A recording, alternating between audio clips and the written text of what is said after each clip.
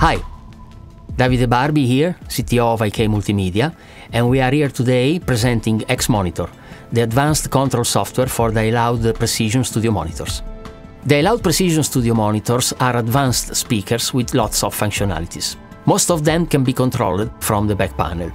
However, there are some deeper functionalities and additional features that can be controlled from the X-Monitor control software. This is the main view of the X-Monitor software. Uh, from here, you can start by selecting the speakers you are working with. Both speakers in this case are connected to the USB ports on the computer. Once the speakers are selected, then you see the frequency response on the graph below uh, because an ARC calibration has been already done. So I see in green the frequency response that this monitor had in this room before the correction, and in orange I see the frequency response uh, after the correction. The ARC calibration process, so the measurement of the room, basically, can be done uh, from the back panel of the speakers or from this control software. When done from this control software, um, the user is guided through the various steps. Uh, we can see how it works by calibrating the right speaker now. To start the calibration of the speakers in the room, you have to press the calibration button here. This is the wizard that will guide the user through the calibration process.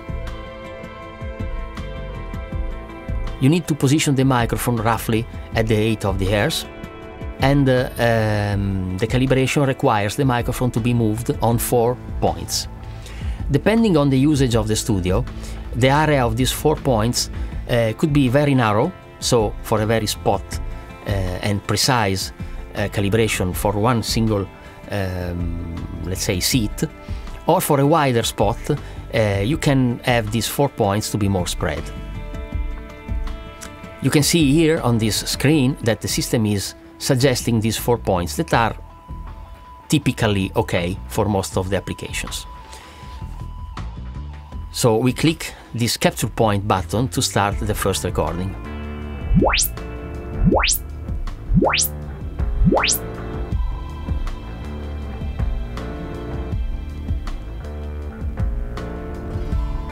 Okay, now the microphone needs to be moved to position 2 and the audio can be captured again.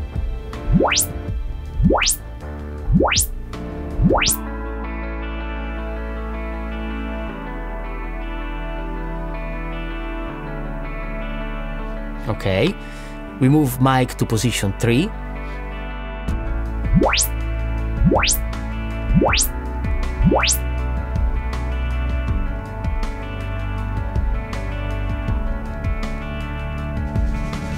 And then finally we move the microphone to the last position, number 4.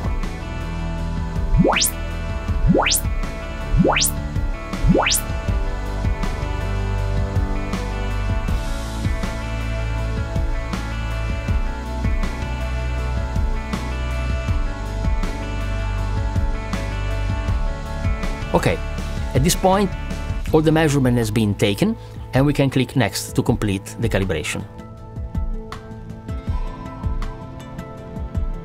Okay, as you can see here, now we have the green curve that is showing the frequency response of this speaker in this room. You see there is a strong boost in the low mids here and some irregularities. And then the orange curve shows the corrected frequency response.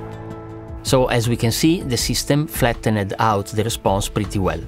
We can say the response is now flat within plus and minus 1.5 dB, which is a pretty good result. Once the calibration is done for both speakers, you can quickly turn it on and off from these buttons here. And since the link option below here is enabled, uh, anything you do on one speaker will be reflected also on the other one.